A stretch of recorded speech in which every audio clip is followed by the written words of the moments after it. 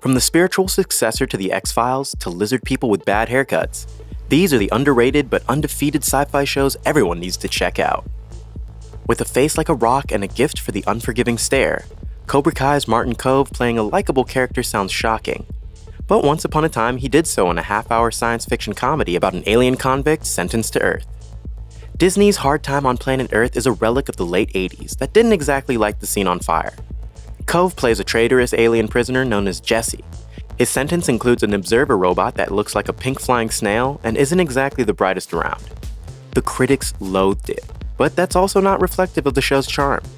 In many ways, it's a series ahead of its time that dared to take its absurd premise and have fun with it. Kove himself does a marvelous job of lampooning his own character type, Sadly, Hard Time on Planet Earth seems all but forgotten. It's not even on Disney Plus, and that's a shame. Alien Nation is an excellent movie and a pretty good TV series about the topic of xenophobia. Matthew Sikes starts as tough and bigoted, but he is drawn into the intricacies of newcomer life. He's changed by his experiences and forced to recognize them as people. While it's never forgotten that the newcomers are aliens, by the end, their differences are familiar and welcoming. It's a nice lesson. The plug was pulled on Alien Nation early on, but it's also one of the few cancelled sci fi shows to receive an unlikely rescue. Its plot was wrapped up several years later in a series of five TV movies. The 1980s cult sci fi series V includes a two part miniseries that dares to go as grim as possible with its historical fascist parallels, the three part Final Battle miniseries, and a weekly TV series. It's overeager with its concept, leaning hard into its evil space lizards with an enthusiasm that makes the whole thing thrive despite itself.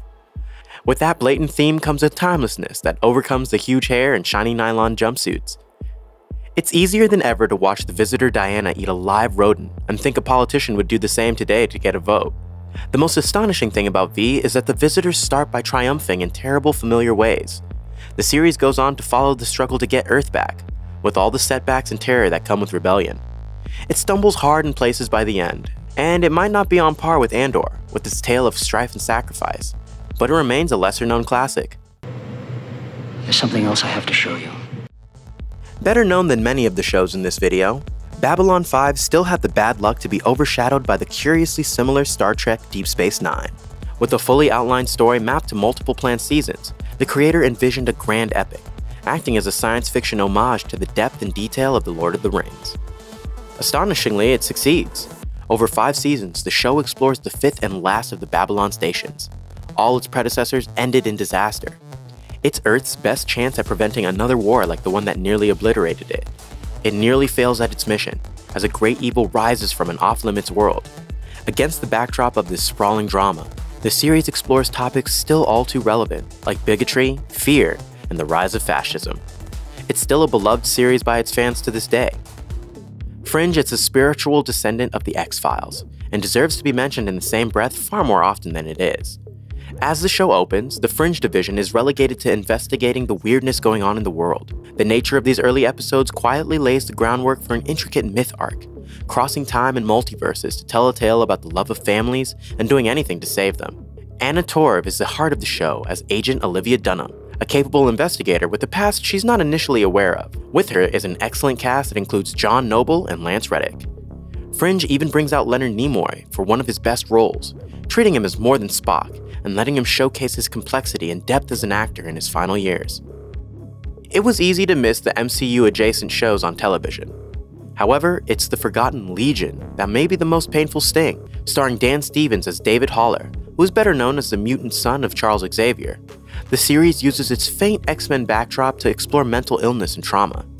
David isn't who he thinks he is, nor does he understand what the forces around him want him to be, or even what those forces are sometimes.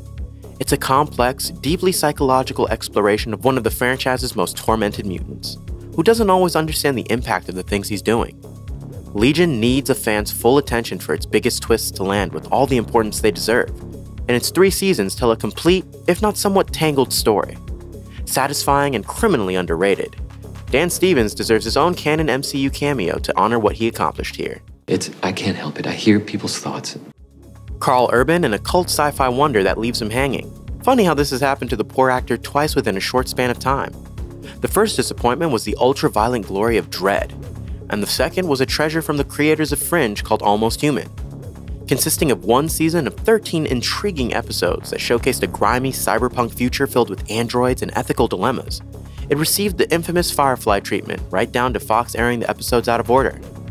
Urban plays Detective John Kennex, a man who has been in a 17 month long coma, receives cybernetic prosthetics, and has a new android partner named Dorian, who also happens to be the heart of the series.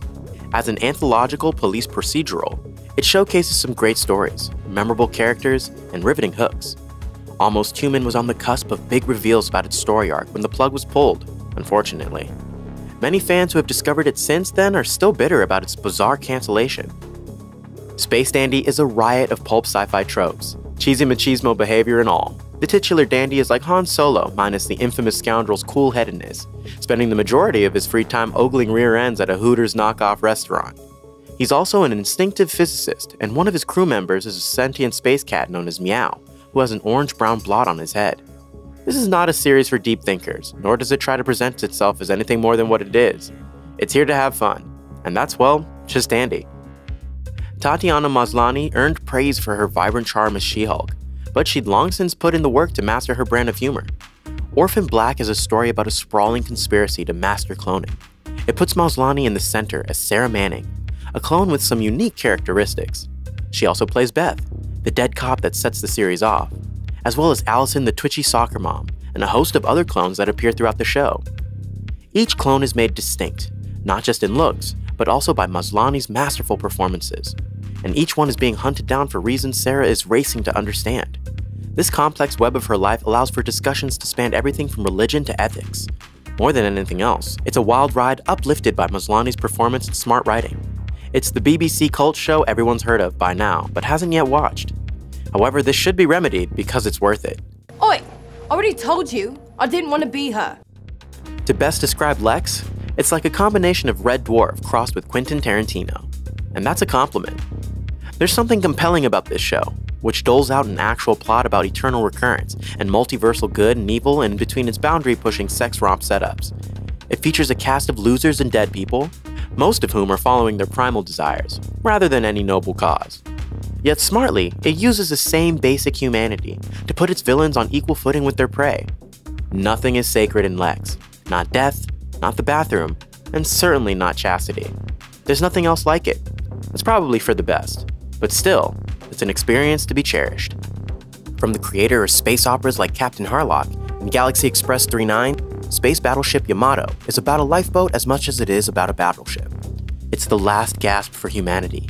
Its mission is to reach the source of a mysterious message, offering a way to save an already ruined Earth. Brutal and complex, it's the series that paved the way for the war scarred mechs of Gundam and the wrenching psychological damage of Neon Genesis Evangelion. Like other Japanese classics, Space Battleship Yamato, with its princesses and planet destroyers, will likely appeal to the Star Wars fan in all of us. There's no time variance authority in charge behind the scenes of Sliders, a series with a premise that would have made He Who Remains throw a serious hissy fit. Inventor Quinn Mallory and a handful of other poor souls get lost in an unending parade of parallel Earths. Sliders leaned hardest into the potential of its premise in its first two seasons. There were episodes in which Elvis never died and dinosaurs claimed San Francisco for their own, a year before a Tyrannosaur stomped through San Diego in the Lost World Jurassic Park. Worlds of magic and alien invasion awaited the hapless protagonists, and the series earned enough love to survive a hop from Fox to the Sci Fi Channel. But the show's rescue also led to a gradual decrease in quality, with iffy scripts and plot devices torn from other popular sources. With a cliffhanger ending and a cast that's long since moved on, the end of the series is bittersweet. That said, it's still a great ride that most viewers need to see to believe.